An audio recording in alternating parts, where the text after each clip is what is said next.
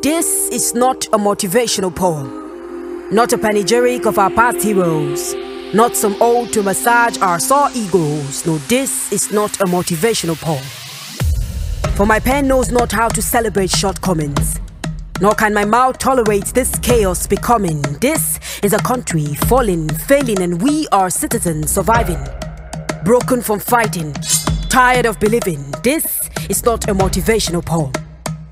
For our blood has become extinguishers for this reoccurring fire on the mountain. Our bodies are pillars on which this nation is standing our teeth. An active participant of this play of prey, we are prey to our own homes. Prisoners of our own domes. No, this is not a motivational poem. This is how I substitute my blood for ink to think, glean whatever hope is left from this harvest of ignorance and corruption. This is how I distort this illusion of freedom. Seek even an atom of conviction from these rock bottoms.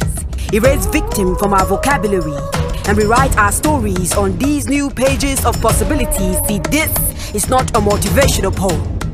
This is a reminder that we are at a crossroad of another chapter, the end of another beginning, another chance to determine between living and surviving this hunger game, this game of choosing. No, this is not a motivational poem.